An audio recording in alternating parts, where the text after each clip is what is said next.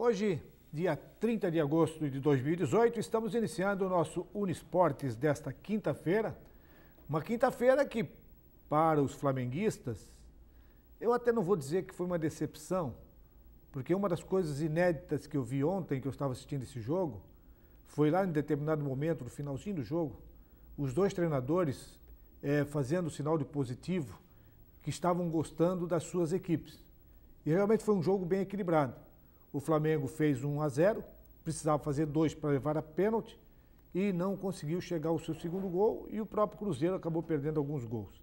E o Corinthians, que foi outro time brasileiro que estava tentando um lugar ao sol, conseguiu fazer um gol para levar para pênalti, mas também sofreu um gol, depois venceu por 2 a 1 e a equipe do Colo-Colo, por ter feito um gol fora de casa, acaba eliminando a equipe do Corinthians. Então, classificados por enquanto, a equipe do Grêmio e a equipe do Cruzeiro. E hoje teremos a participação do Palmeiras contra a equipe do Cerro Portenho e o Palmeiras leva uma vantagem por estar com uma vantagem de dois gols que fez jogando fora de casa. É, mas vamos falar aqui do nosso futebol e ontem nós conversamos, eu e o Ingo, que há uma possibilidade de interesse de dirigentes da, de Santa Catarina em ampliar o número de equipes para o campeonato catarinense. É, o Ingo, é, nessa conversa que os dirigentes estão fazendo, é, há esse espelho, há essa vontade de aumentar para 12? Boa tarde, Eladio, o pessoal da Univale. Realmente há um interesse. É, por todos que conversaram sobre essa situação, o interesse há de fazer a mudança, até porque o campeonato de pontos corridos aqui em Santa Catarina, ele não foi viável para a federação, principalmente para a federação, em termos de renda. A gente tinha jogos no segundo turno do Campeonato Catarinense no ano passado, na segunda, na terceira rodada do segundo turno, com um estádio praticamente vazio, até porque já se direcionava o campeão do, do, do Catarinense de 2018. Então, eles querem mudar a fórmula de disputa, que não seja mais pontos corridos, seja duas chaves de seis equipes disputadas entre si, com semifinal e final. E é unânime a opinião de todos, mas é claro que não, depende só deles. Né? É, eu, eu, sempre achei assim, ó, como o, tudo que tem que se fazer em competição, você tem que ir para o conselho técnico e no conselho técnico vai a votação. E como a votação é qualificativa, é, então quem tem mais votos é Figueirense, é Chapecoense, é Havaí, é Criciúma, depois vem Joinville, depois vem. porque são a pontuação na classificação do campeonato passado. Então eles têm a vantagem de decidir o que, que eles querem. E o Batistotti, que é, é ex-presidente, ou ainda presidente, é, ele presidente. é presidente do Havaí, né? Presidente do Havaí. Presidente do Havaí, o Batistotti ele tem aí uma ideia que ele está tentando trabalhar com os clubes. Isso já é um bom caminho partindo da Associação de Clubes. Vamos ver o que, que o Batistotti diz a respeito dessa possibilidade? É enorme. Subiu dois clubes, o Metropolitano e o Marcelo Dias, um clube tradicional de futebol catarinense. Isso é importante, eu acho que isso fortifica e fortalece o, o futebol catarinense e espero que a gente tenha um campeonato 2019 um campeonato competitivo, um campeonato com uma nova forma. Eu acredito que a nova forma seria duas chaves para fazer alguns mata-matas para fazer com que a torcida venha ao estádio, que valorize mais o campeonato. É dessa forma. Vamos lá, eu acho que a Associação de Clubes vai fazer essa proposta ao, presidente da, da federação, assim como achamos também que nós temos que ter na Série A do, de 2020 no mínimo 12 clubes. Então a proposta que a Associação de Clubes vai levar ao presidente da federação e botar no Conselho Arbitral é que em 2019 seja rebaixado um e suba três para que em 2020 a gente consiga fazer duas chaves de seis, que é uma fórmula de que a gente pode fazer um campeonato competitivo e com menos datas. Seria então incrementar o mata-mata, um rebaixado e aí na Série B subindo três. Seria isso? Essa é a proposta dos clubes? Não, essa é a proposta que eu vou levar para a Associação de Clubes, para que a Associação de Clubes aprove. Eu acredito que a maioria, já pela conversa que eu tenho tendo com eles, é o, o, o que eles aceitam, vamos levar para o arbitral dessa forma. Acredito que é porque você, todos os campeonatos que você tem nos estados, a maioria é dessa forma. São duas chaves com mata-mata, que é um campeonato que dá uma atração enorme à torcida e dá mais renda aos clubes. Presidente, a gente sabe o tamanho da rivalidade que é Marcílio Dias e Havaí. Acompanhando o outro lado, acompanhando o lado do Havaí, como é que você vê essa volta do Marcílio Elite? Não, excelente. Eu acho que a rivalidade tem que ser dentro de campo. A rivalidade é, é, é, é, dentro das quatro linhas, fora das quatro linhas. A gente tem que trabalhar junto. Tive conversando com o presidente Marcílio Dias ainda há pouco. Né, e acho que a gente tem que começar a preocupar-se com o fortalecimento do campeonato estadual de Santa Catarina, da Série A e da Série B. Acho que a rivalidade é aí. Espero que essa rivalidade só aconteça dentro de campo, né? E que as torcidas se preocupem em paz nos estádios, porque a coisa está tá um pouco difícil, a violência nisso aí. Acho que dá para conscientizar e fazer um trabalho para que essa violência acabe. Para a gente fechar, Leão vai subir para a Série A do Brasileirão? É o nosso projeto, é o nosso projeto. Nós estamos hoje com 13, 13 partidas sem, sem perder, né? Estamos voltando a ganhar em casa. No primeiro turno aconteceu essa situação, nós só empatávamos. Felizmente as duas nós ganhamos. Espero ganhar o próximo sábado, que é o clássico, para manter a hegemonia do, da vitória dentro da ressacada. E acredito que se nós fizermos o dever dentro da ressacada, nós vamos para a Série A novamente. Última pergunta: o que foi decisivo para vai voltar a Associação de Clubes? Não, a decisão foi uma conversa que tivemos com o presidente, expondo as nossas ideias, achando que o campeonato teria que ser dessa forma, ele acatou. Né? Então, eu fui voto vencido na, na Assembleia Geral do ano passado, onde fizeram por ponto corridos, olha o campeonato que deu. Campeonato sem lucratividade nenhuma, sem rentabilidade nenhuma, sem expectativa nenhuma. Uma das exigências minhas foi essa, foi lutar para que a gente fizesse um campeonato que fosse competitivo, que fizesse vários mata-matas, né, e também a forma de gestão da associação de clubes. Eu acho que a associação de clubes tem que trabalhar para todos os clubes de Santa Catarina, Série A e Série B. E nós temos que buscar recurso para os clubes de Série A e Série B. Os clubes da Série A, tudo bem, eu tenho calendário o ano inteiro. Então, não tenho muita dificuldade. Mas os clubes que não têm calendário, nós temos que buscar calendário. O turno da Série B disputa três meses e acabou. E daí? Nós temos que começar a fazer calendário também para esses clubes, para que esses jogadores ficam ah, participando de campeonatos e, e, se destacando. Eu tenho dito que o time do Havaí ele vai buscar atletas de clubes da Série B. Eu fui buscar o Capa no Guarani da Palhoça. Eu fui buscar o alemão no Metropolitano que veio do Atlético de Birama. O alemão hoje eu vendi para a Arábia Saudita. Então, é, é dessa forma. Você Nós... lembra do Anderson Lopes? O Anderson Lopes também esteve aqui.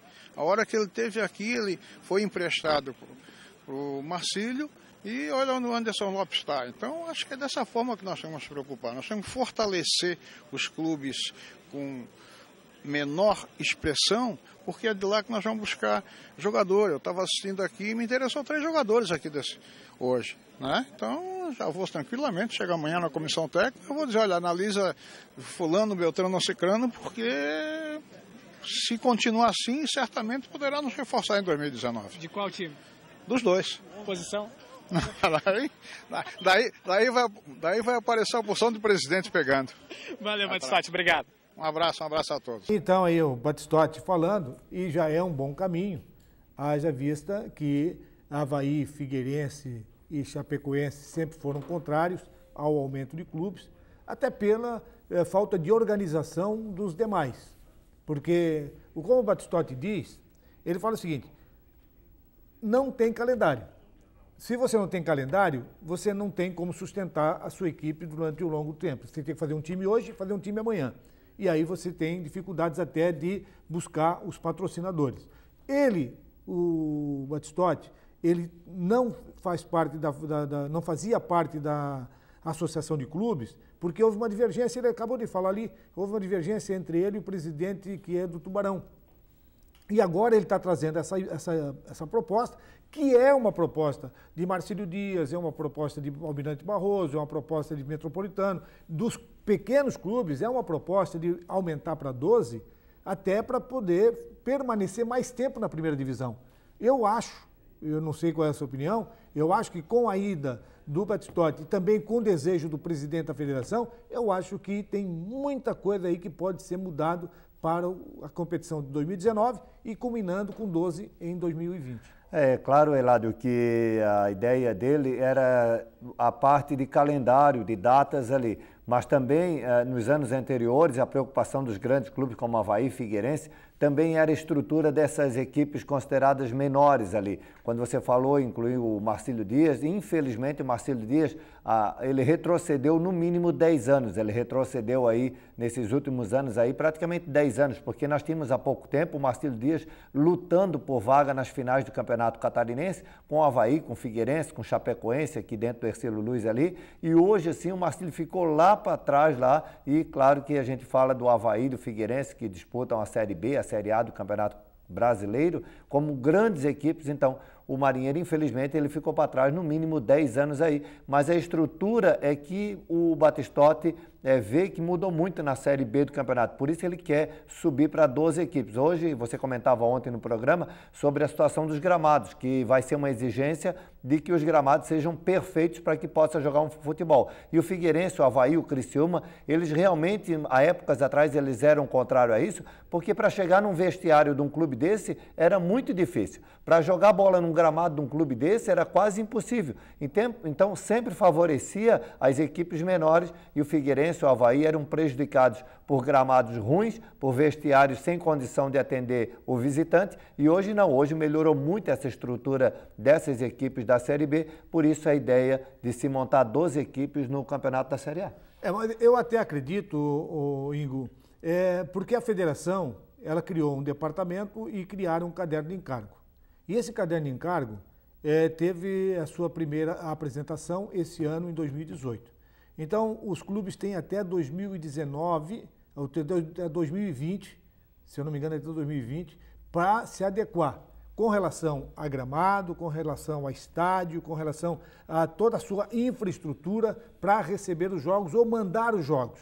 Então, é, esse tipo de assunto da federação, ela vai forçar que as equipes que querem participar terão que ter condições. Mas nós vamos ao intervalo e, na sequência, vamos voltar ainda a esse assunto e também com a palavra do presidente da Federação Catarinense de Futebol, o Rubens Angioletti. Voltamos em seguidinha.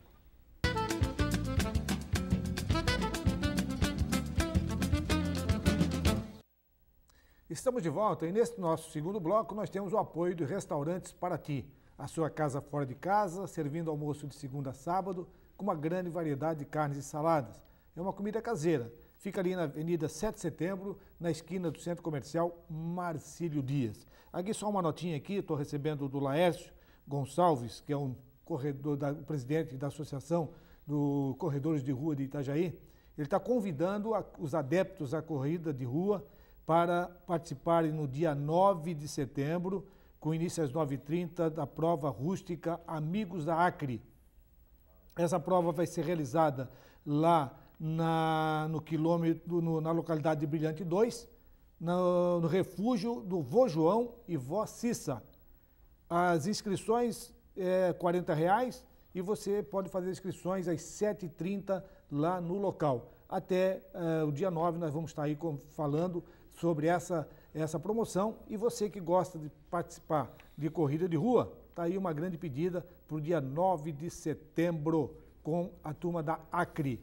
Tivemos também aí o, um bate-boca lá em Chapecó, mas vamos falar a respeito disso. Mas antes, vamos ver aqui se o, o Rubens Angioletti, presidente da federação, recém-eleito, ele fez o mandato tampão do Delfim de Padre Peixoto Filho, e agora eleito presidente da Federação de Futebol, ele está falando aí sobre o, a segunda divisão e sobre o futebol de Santa Catarina e o futuro do futebol de Santa Catarina. Vamos ouvir o nosso presidente, o presidente da federação, Rubens Angioletti. fazendo, sempre investindo bastante no nosso futebol, né? Fomentando os nossos clubes e fazendo os campeonatos, transcorrendo como essa que terminou hoje aqui, mais um campeonato da federação, onde os troféus entregues dentro de campo, sem contestação nenhuma, e assim vamos seguir o nosso trabalho, cada vez evoluindo mais o nosso futebol. A gente está ao vivo pela Rádio Univale e também pela Rádio Web Catarina.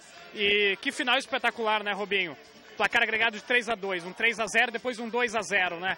São duas equipes que vão agregar muito a Série A do ano que vem, né? Ah, com certeza. Subiram as, as equipes que mais mereceram subir, né?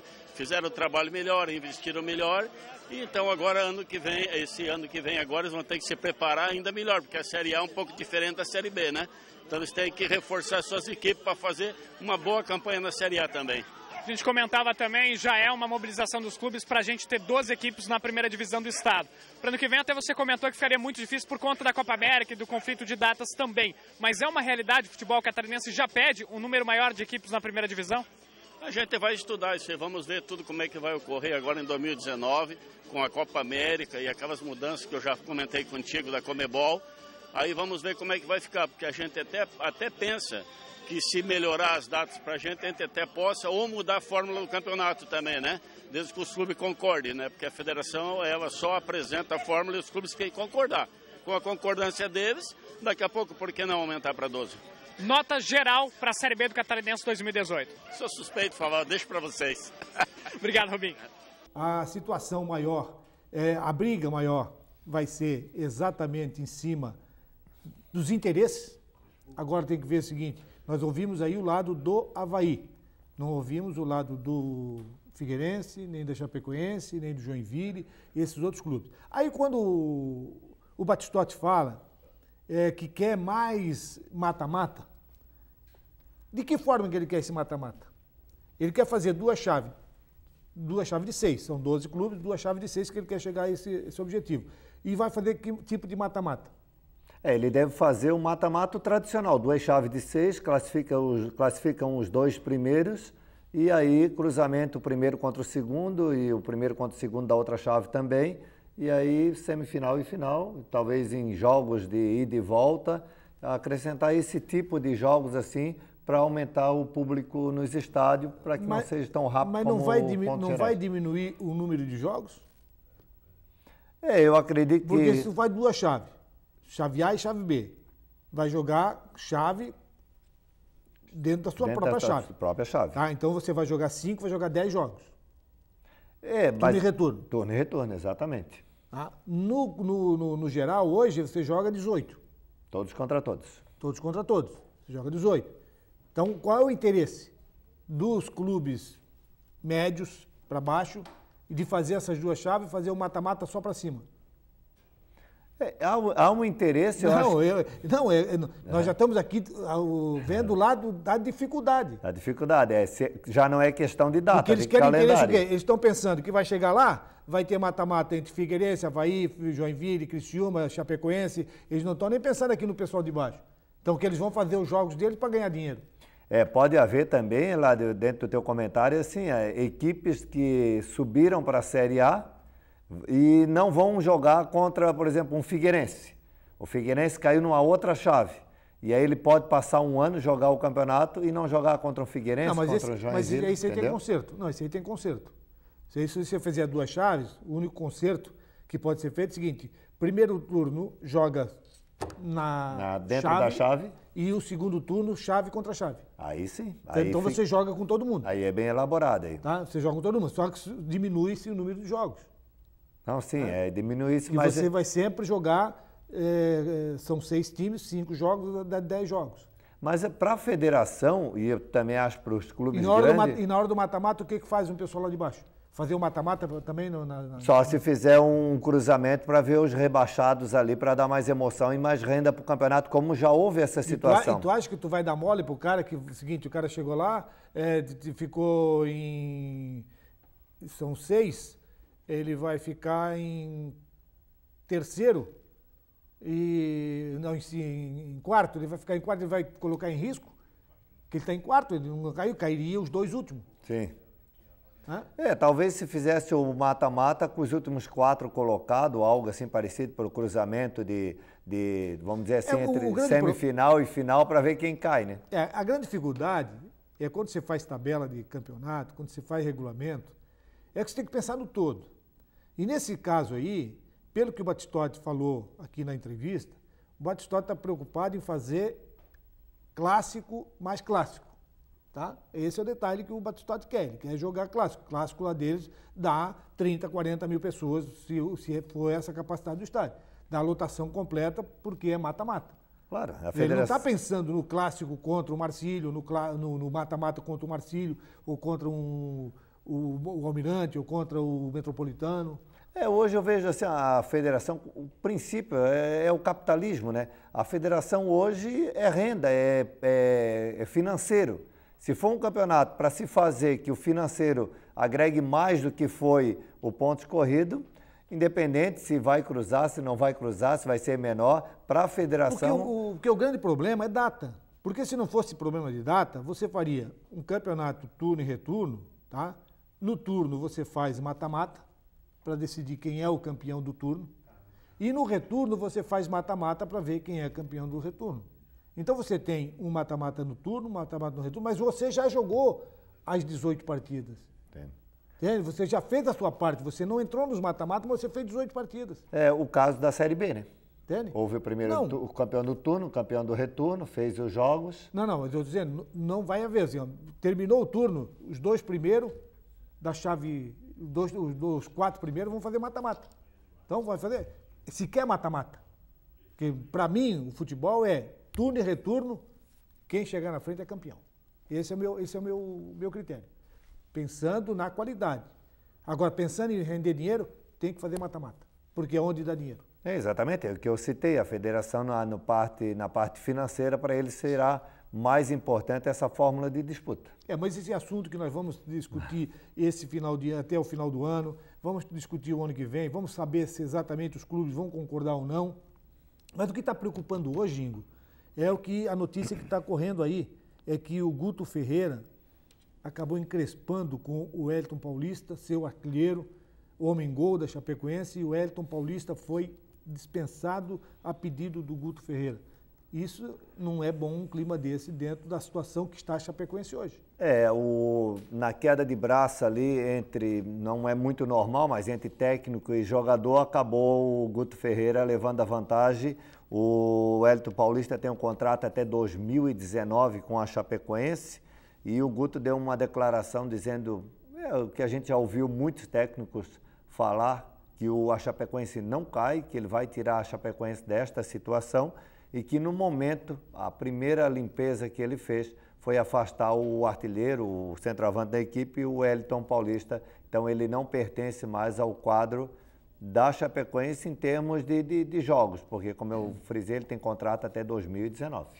É, eu, como já fui treinador, já fui preparador físico, já vivi lá dentro, a laranja estragada tem que tirar, seja ela qual for. Se a laranja for o técnico, tira o técnico. Se a laranja for o jogador, independe da qualidade dele, que só vai piorar a situação. Então tem que eliminar também esse câncer que pode estar contaminando a equipe da Chapecoense mas quem sabe disso é o próprio Guto e a própria diretoria da, da Chapecoense. Mas não é bom nesse momento que passa a Chapecoense. É, o Guto coloca o respeito dentro do elenco, né? Como você citou, agora com a saída do, do Elton Paulista, o próprio grupo de jogadores sabe que ali a situação é complicada. Se não for do jeito que o Guto está pretendendo ali, que a diretoria deu toda a confiança para ele, vai sobrar mais gente de fora da Chapecoense. Se fosse ao contrário, ficasse o, Hélio Paulista, saísse o Guto, aí realmente eu vejo como uma situação muito mais difícil. Eu vejo que agora o Guto, pelo menos, tem as cartas na mão aí para fazer do jeito que ele quer fazer e tentar salvar a Chapecoense dessa situação. É, e aí o Guto tem que ter pulso firme, porque ele sabe que a ausência desse jogador, se ele não tiver um, um, um, um substituto, um goleador que venha a torcida vai cobrar dele. Ele vai ter que ter muito pulso firme para poder segurar essa barra que ele mesmo construiu. É, realmente, agora é reta final aí, é uma atitude que ele tomou de, de mudar a situação totalmente aí. Quem sabe agora nessa reta final aí a, a gente torce para que a Chapecoense consiga sobreviver. É, e nós estamos já com dois clubes na, na Libertadores e o, o, Palmeiras joga hoje. Vamos torcer para o Palmeiras ser o terceiro clube na Libertadores. Estamos encerrando esse programa desta quinta-feira. Amanhã teremos muito mais assunto e principalmente falar mais sobre o Clube Náutico Marcílio Dias. Um abraço e até amanhã.